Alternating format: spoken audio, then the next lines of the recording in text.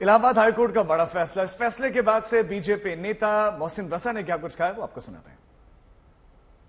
उच्च न्यायालय ने कहा है कि सर्वे होगा और सर्वे का जो फैसला हमारी निचली अदालत का है, उसको माना है उन्होंने और सर्वे के बाद जो चीज़ें सामने आएँगी।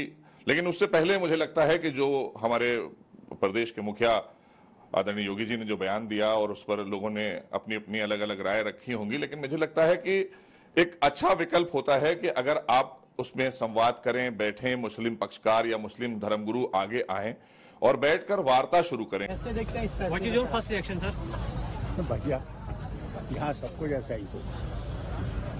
सर बोल के जाइए सर। होना चाहिए। सर कुछ तो बोल दीजिए। हिंदू पक्ष कह रहा है कि वो मंदिर है। और उनकी ये जीत है। भैया मंदिर हो या मस्जिद हो वो सबका एक ही है। आप उसको मंदिर में देखिए या मस्जिद में देखिए।